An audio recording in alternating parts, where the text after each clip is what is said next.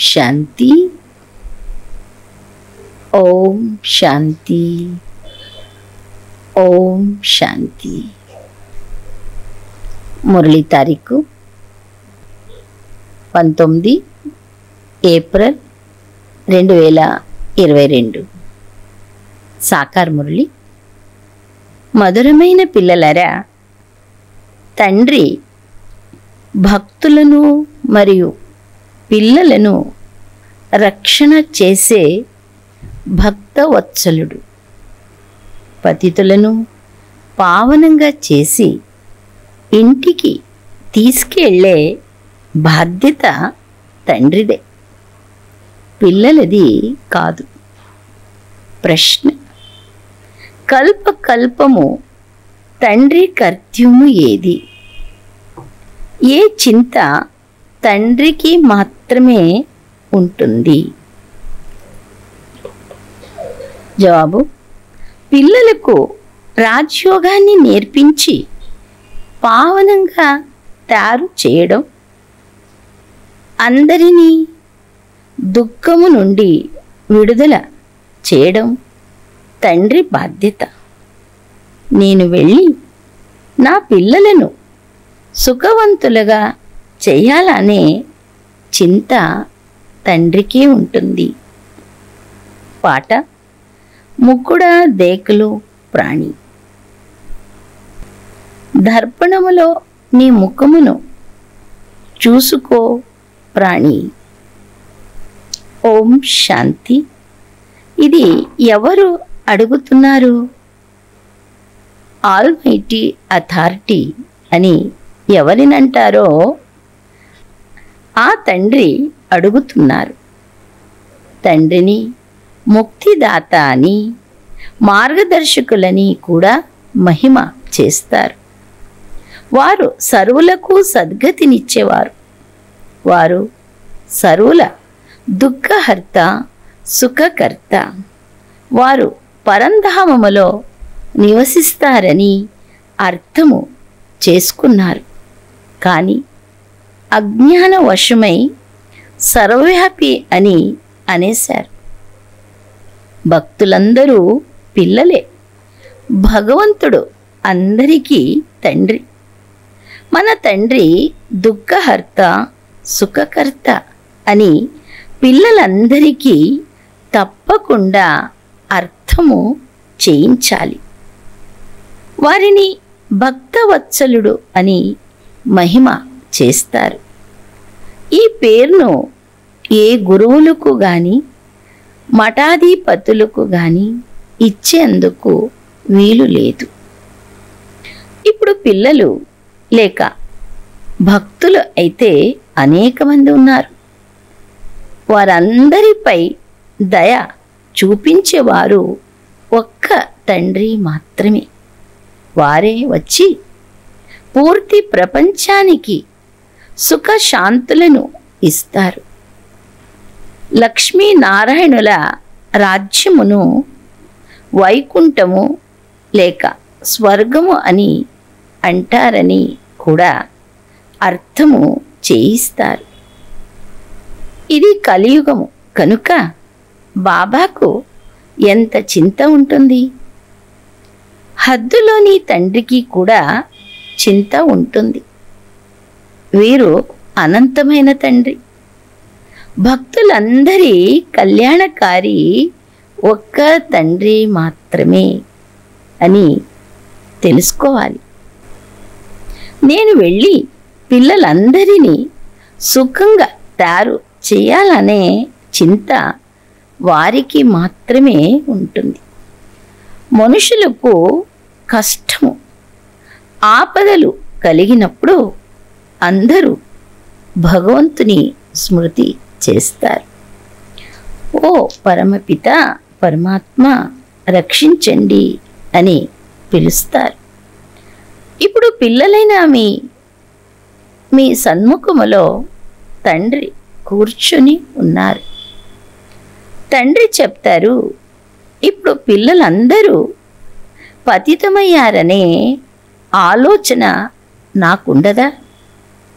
నేను వెళ్ళి అందరికీ రాజ్యోగము నేర్పించి పావనంగా తయారు చేయాలనే చింత నాకుంటుంది. ఇది నా కల్పకల్పపు కర్తవ్యం. ఈ సమయంలో అందరూ నన్ను పిలుస్తారు. కానీ అది ప్రేమ కాదు. ఇప్పుడు మీరు పూర్తి డ్రామనంతా అర్థము చేసుకున్నారు. తండ్రి చెప్తున్నారు నేను మిమ్ములను పావనంగా చేసేందుకు వచ్చాను. మీరు నా మాట వినాలి కదా? సన్యాసులు కూడా ఈ వికారాలను వదిలేస్తారు. వారిది హద్దు సన్యాసం మనది పూర్తి ప్రపంచాన్ని సన్యాసించే అనంతమైన సన్యాసం తండ్రి చాలా మంచి రీతిగా అర్థము చేయిస్తున్నారు. ఇప్పుడు ప్రాక్టికల్గా ప్రజాపిత బ్రహ్మ కుమార్ కుమారిలు ఉన్నారు కదా. బోర్డు కూడా తగిలించబడి ఉంది. అనేక మంది పిల్లలున్నారు. అందరూ మమ్మ బాబా అని అంటారు. గాంధీని కూడా జాతి పిత అని అంటారు. అతను భారతదేశానికి మాత్రమే తండ్రి అయ్యారు. కానీ మొత్తం ప్రపంచానికి కాదు. ప్రపంచానికంతా తండ్రి ఒక్కరు మాత్రమే. ఆ తండ్రి చెప్తున్నారు కామం మహాశత్రువు. మీరు దీనిపై విజయము పొందండి. దీనిలో ఏమాత్రము ఏమాత్రము సుఖము లేదు. పవిత్ర దేవీ దేవతల ముందుకెళ్ళి తల వంచుతారు. ఏమాత్రము అర్థము చేసుకోరు. తండ్రి చెప్తున్నారు పిల్లలు కేవలము ఈ అంతిమ జన్మలో పవిత్రమైతే ఇరవై ఒక్క జన్మలకు మీ శరీరాన్ని కల్ప తరువుగా చేస్తాను. ఇది చాలా సులభం కానీ మాయ పరాజితులుగా చేస్తుంది. నాలుగు ఆరు మాసలు పవిత్రంగా ఉంటారు. అప్పటికే నడుము విరిగిపోతుంది. కల్పకృతము వలె తండ్రి అర్థము చేయిస్తున్నారని మీకు తెలుసు. కౌరవులు పాండవులను సోదరులుగా చూపిస్తారు. వేరు వేరు దేశాల వారిగా కానీ గ్రామాలకు చెందిన వారిగా కానీ కాదు. పతిత పావనులైన తండ్రి అవినాశి ఖండమైన భారతదేశములోనే వస్తారు. ఇది వారి జన్మస్థానం శివ జయంతిని కూడా ఆచరిస్తారు. నిరాకార శివ పరమాత్మ జన్మ తీసుకుంటారు. వారి పేరు శివ. వారికి శరీరము లేదు. మిగిలిన వారందరికీ బ్రహ్మ విష్ణు శంకరులకు కూడా శరీరాలున్నాయి. అత్యంత ఉన్నతమైన వారు భగవంతుడు ఒక్కరే. వారు ఇతనిలో ప్రవేశిస్తారు. కానీ ఎలా వచ్చారు? ఎప్పుడు వచ్చారు? ఇది ఎవరికీ తెలియదు. భారతదేశంలోనే శివ జయంతిని ఆచరిస్తారు. అన్నిటికంటే పెద్ద మందిరాలు కూడా ఇక్కడే ఉన్నాయి. వాటిలో కూడా శివలింగమును ఉంచారు ఇప్పుడు తప్పకుండా వస్తారని అర్థము చేయించాలి. శరీరము లేకుండా ఏ పని జరగదు. ఆత్మ సుఖ దుఃఖాలను శరీరము ద్వారానే అనుభవిస్తుంది. ఆత్మ శరీరము నుండి వేరైతే ఒంటరిగా ఏ పని చేయలేదు. శివబాబా కూడా ఏదైనా పని చేసి ఉంటారు. వారు పతిత పావనులు. కానీ ఎలా వచ్చి అందరినీ పావనంగా చేస్తారో ఎవరికీ తెలియదు. ఇప్పుడు బాబా సాధారణ తనువులో ప్రవేశించి పాత్రను అభినయిస్తారు.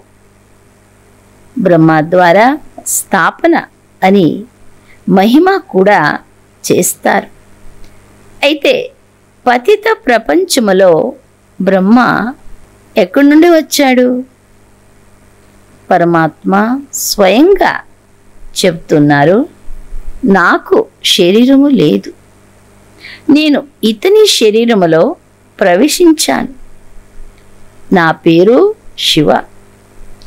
మీరు వచ్చి నా వారిగా అయ్యారు.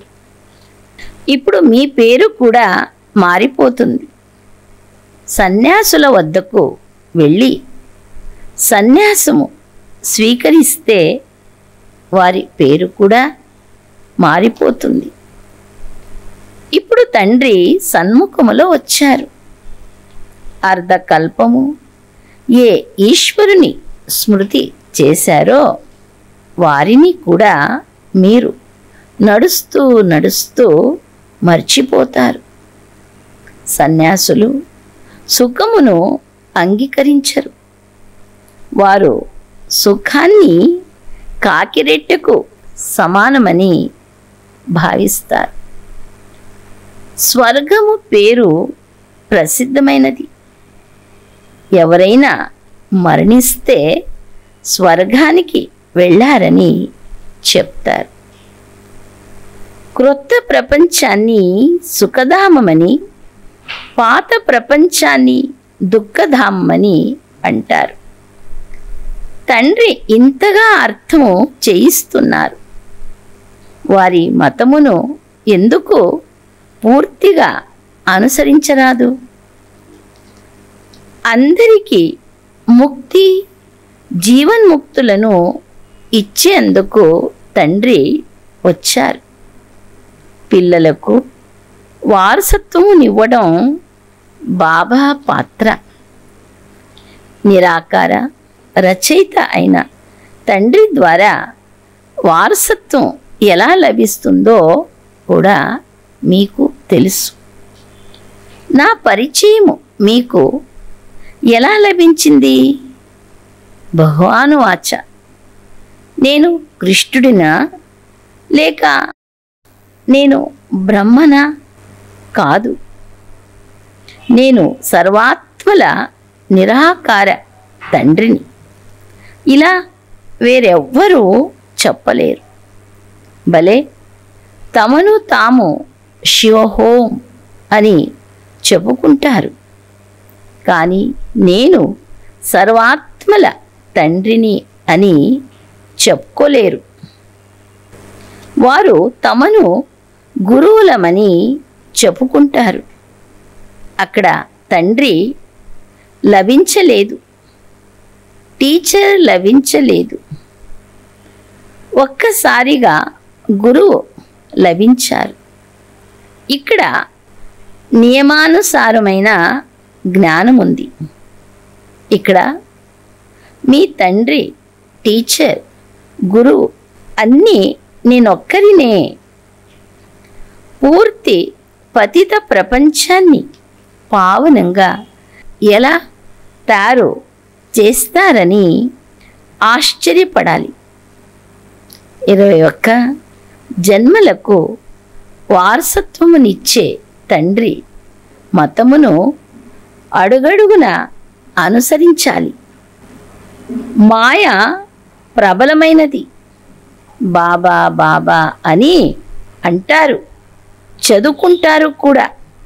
అయినా అహో మాయకు వశమై తండ్రికి విడాకులు ఇచ్చేస్తారు అందుకే హెచ్చరికగా ఉండాలని చెప్తారు. పిల్లలు తండ్రిని వదిలేసినప్పుడు నేను నీకు ఇంత పాలన ఇచ్చాను. అయినా నన్ను వదిలేశారని అంటారు కదా. ఇక్కడైతే ఇతరులను మీ సమానంగా చేయు సేవ చేయాలి. నాకు ఈ సహయోగము చెయ్యరా నన్ను వదిలేసి నా పేరు చెడగొడతారు. నాకు ఎంత కష్టమవుతుంది? అబలాలపై చాలా అత్యాచారాలు జరుగుతాయి. జ్ఞాన యజ్ఞములో విఘ్నలు పడతాయి. మాయ చాలా తుఫానులు తెస్తుంది. భక్తి మార్గములో ఇలా జరగదు. తండ్రి చెప్తారు తెలివైన పిల్లలారా మీరు నా మతమును అనుసరించండి. నేను ఏ వికర్మలు చెయ్యలేదు కదా? అని మీ మనస్సు అనే దర్పణములో చూసుకోండి. తండ్రికి చెందిన వారిగా అయ్యి కొద్దిగా వికర్మలు చేసినా నూరు రెట్ల శిక్ష పడుతుంది. చాలా నష్టపరుస్తుంది. మేము జమ చేసుకుంటున్నామా? లేక నష్టపరుచుకుంటున్నామా? అని పరిశీలించుకోవాలి. మాయా భూతాలను పారద్రోలాలి. ఇటువంటి స్థితి ఉన్నప్పుడే తండ్రి హృదయాన్ని అధిరోహించగలరు. సింహాసనముపై కూడా కూర్చుంటారు. మన సింహాసనం ఏదో కూడా మీకు తెలుస్తుంది. శివబాబా మందిరాలను తయారు చేసినప్పుడు మీ భవనాలు ఎంత సుందరంగా శ్రేష్టంగా ఉంటాయి. నేను మిమ్మలను విశ్వాధికారులుగా తయారు చేస్తాను. మీ వద్ద అపారమైన ధనముంటుంది. తర్వాత మీరు నా మందిరాలను నిర్మిస్తారు. మీ వద్ద గల ధనమున్నంత మీరు మందిరాల నిర్మాణానికే ఉపయోగించరు. కదా? మనం విశ్వాధికారులుగా ఉండేవారమని ఇప్పుడు మీరు అర్థము చేసుకున్నారు. అక్కడ విశ్వ మహారాజును ధనదాత అని అంటారు. వారు భక్తి మార్గములో చాలా పెద్ద మందిరాన్ని నిర్మించారు. మీరు కూడా నిర్మిస్తారు. అక్కడ ద్వాపర యుగములో రాజులందరి వద్ద మందిరాలుంటాయి. మొట్టమొదట శివుని మందిరాలను తర్వాత దేవతల మందిరాలను నిర్మిస్తారు. ఇప్పుడు తండ్రి పిల్లలైన మీకు ఎన్నో సత్యమైన సమాచారాలను వినిపిస్తారు. పిల్లలకు ఈ చదువు ద్వారా చాలా సంతోషము కలగాలి. పురుషార్థము ద్వారా మనం ఈ విధంగా విశ్వ మహారాజులుగా అవుతామని మీకు తెలుసు. అటువంటప్పుడు శ్రీమతమును ఎందుకు అనుసరించరు? ఎందుకు మర్చిపోతారు? ఇది ఒక కథ. ఇంట్లో బంధుమిత్రులు కథలు వినిపిస్తారు. తండ్రి కూడా మీరు ఈ సృష్టి ఆది మధ్యాంతల కథనంతటిని వినిపిస్తారు. మీకు ఐదు వేల సంవత్సరాల క్రితము విశ్వానికి యజమానులుగా ఉండేవారు.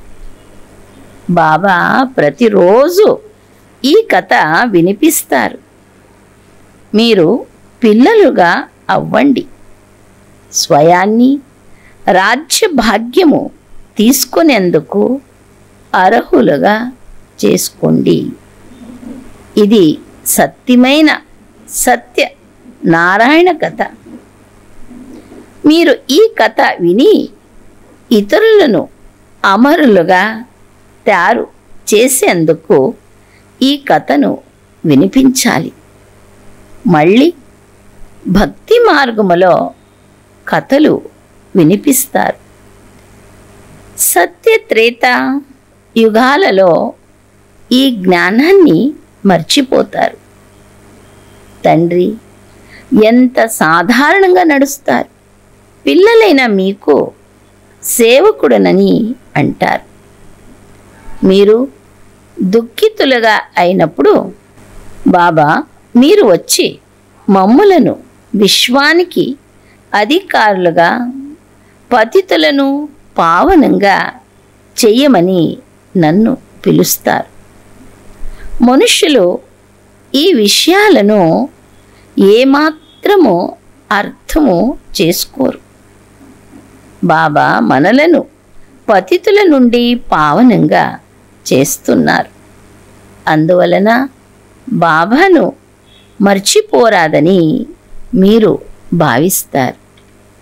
మీరు ఉన్నతమైన సర్వీస్ చేయాలి. తండ్రిని స్మృతి చేసి ఇంటికి వెళ్ళాలి. అచ్చా మీటే మీటే సికిలదే బచ్చో ప్రతి మాత్ పిత బాప్ దాదాక యాత్ प्यार और गुड मॉर्निंग रूहानी बाप की रूहानी बच्चों को नमस्ते हम रूहानी बच्चों की रूहानी बाप दादा को याद प्यार और गुड मॉर्निंग నమస్తే నమస్తే ధారణ కొరకు ముఖ్య సారం మొదటి పాయింట్ మేము ఏదైనా వికర్మ చేసి స్వయానికి ఇతరులకు నష్టము కలుగు చేయడం లేదు కదా? అని ప్రతిరోజు మీ మనస్సు అనే దర్పణములో పరిశీలించుకోవాలి. వివేకవంతులుగా అయి తండ్రి మతమును అనుసరించాలి. భూతాలను పారద్రోలాలి నెక్స్ట్ పాయింట్ తండ్రి వినిపించే సత్యమైన సమాచారాన్ని లేక సత్యమైన కథను మీరు విని ఇతరులకు కూడా వినిపించాలి. వరదానము. ప్రతి సమయము మీ మనస్సులో తండ్రి యొక్క ప్రత్యక్షత జెండాను ఎగిరేసే దృఢ సంకల్పధారి భవ. వివరణ? ఎలాగైతే స్నేహం కారణంగా ప్రతి ఒక్కరి హృదయములో నేను తండ్రిని ప్రత్యక్షము చేసే తీరాలని అనిపిస్తుందో అలా మీ సంకల్పము మాట కర్మల ద్వారా మనస్సులో ప్రత్యక్షత జెండాను ఎగరేయండి. సదా సంతోషంగా ఉండే డ్యాన్స్ చేయండి. ఒకప్పుడు సంతోషంగా ఒకప్పుడు ఉదాసీనంగా ఉండడం కాదు. ఎంతవరకు జీవించి ఉంటానో అంతవరకు సంతోషంగా ఉండాలి అనే దృఢ సంకల్పము అనగా వ్రతాన్ని ధారణ చేయండి. మీఠా బాబా టారా బాబా మీరా బాబా. ఈ పాట ఆటోమేటిక్గా మ్రోగుతూ ఉంటే ప్రత్యక్షత జెండా ఎగురుతూ ఉంటుంది. స్లోగన్. విఘ్న వినాశకులుగా అవ్వాలంటే సర్వశక్తులతో సంపన్నంగా అవ్వండి. విఘ్న వినాశకులుగా అవ్వాలంటే సర్వశక్తులతో సంపన్నంగా అవ్వండి. మాతేశ్వరి గారి అమూల్యమైన మహావాక్యాలు. పరమాత్మ సుఖదాత దుఃఖ దాత కాదు.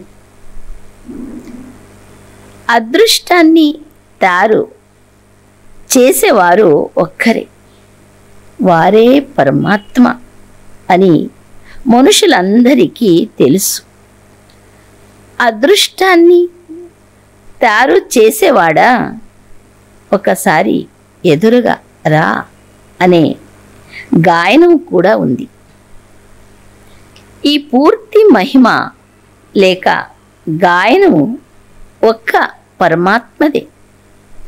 ఇంతగా అర్థము చేసుకున్నా ఎప్పుడైనా ఏదైనా కష్టము వస్తే దుఃఖిలుగా అయ్యే కారణంగా ఈ సుఖ దుఃఖాలు మంచి చెడుల అదృష్టాన్ని పరమాత్మ తారు చేశారని అనేస్తారు. మళ్ళీ ప్రభు ఇచ్చిన దానిని మధురంగా చేసుకొని అనుభవించాలి. ఇందులోనే స్వయాన్ని సంతృష్టంగా ఉంచుకోవాలని కూడా అంటారు. ప్రభువు ఇచ్చిన ఫలము అని భావిస్తారు. కానీ ఆ ఫలము ద్వారా వారు ఏమైనా మధురంగా ఉంటున్నారా? మేము పరమాత్మపై ఈ దోషము ఎందుకు వేస్తున్నాము అని ఆలోచించే వివే వివేకము కూడా మనుషులలో లేదు. ఈ దోషమైతే స్వయం మనుషాత్మలదే. మనుష్యులు ఏ కర్మలు చేశారో వాటిని అనుభవించాల్సిందే. కనుక ప్రతి ఒక్కరూ వారి వారి క కర్మల అనుసారం అనుభవిస్తారు. ఒకవేళ ఏదైనా శ్రేష్ట కర్మ చేస్తే సుఖాన్ని అనుభవిస్తారు. భ్రష్ట కర్మ చేస్తే దుఃఖితులుగా అవుతారు. అయితే ఆ ఫలాన్ని కూడా మధురంగా చేసుకొని అనుభవించేందుకు మనుషులకు మొదట వివేకము కావాలి. అందువలన పరమాత్మ స్వయంగా వచ్చి జ్ఞాన యోగాలను నేర్పిస్తారు. ఎవరైతే మాయను వదిలి పరమాత్మను తోడుగా చేసుకుంటారో మాయ వారి వెంట పడడం వదిలేయదు. చాలా విఘ్నలు వేస్తుంది. ఇది కూడా ఒక నియమం. ఇప్పుడు పరమాత్మ వారిగా అయిన తర్వాత ఏదైతే సహనము చేస్తారో అది మధురంగా అనిపిస్తుంది. వారు మనకు శక్తి ప్రకాశము ఇస్తారు. పరమాత్మ అంటారు పిల్లలు చెడిపోయిన అదృష్టాన్ని నేను తయారు చేస్తాను. కనుక నేను అదృష్టాన్ని తయారు చేసేవాడిని. ఇకపోతే ఏ మనుషులైతే మర్చిపోతారో విస్మృతి చెందుతారో వారు తమ అదృష్టాన్ని తామే చెడిపేసుకుంటారు. కానీ ఏ మనుషులైతే నన్ను కలుసుకునేందుకు కష్టాలను అనుభవిస్తారో వారి బాధ్యత నాది. పరమాత్మ నీ ఇష్టము నా ఇష్టము ఒక్కటే అని చెప్పినప్పుడు మాత్రమే వారి బాధ్యతను పరమాత్మ తీసుకుంటారు. భలే ప్రపంచంలోని లక్షలాది మంది. ఏం చెప్పినా వారికి నన్ను చదివించేవారు స్వయం పరమాత్మ. నేను వారితో వ్యాపారం చేశాను. ఇప్పుడు నేను ఎవరిని లక్ష్య పెట్టాలి? ఎవరిని లక్ష్య పెట్టరాదు? అనే సంపూర్ణ నిశ్చయం ఉంటుంది. అందుకే పైన బ్రహ్మతత్వములో ఉండే వారిని పొందాలని ఉండేది. వారు లభించారు అని అంటారు. పరమాత్మ అంటారు ఎవరైతే కేవలం నేను చెప్పేది వింటారో నన్ను మాత్రమే చూస్తారో ఇలాంటి నిచ్చెన ఎక్కేందుకు ఎవరైతే అడుగును ఉంచారో వారిని భలే మాయ కదిలిస్తుంది కూడా. కానీ ఎవరికైతే పూర్తి నిశ్చయము ఉంటుందో వారు ప్రభువు చేతిని ఎప్పుడూ వదిలిపెట్టు కొద్దిగా మాయ రాగానే దాని ప్రభావంలోకి వచ్చి తమ అదృష్టానికి అడ్డుగీత గీసుకోరాదు. అదృష్టాన్ని చెడపేసుకోవడం మరియు తయారు చేసుకోవడం మనుషుల చేతిలో ఉంది. అచ్చా. ఓం శాంతి.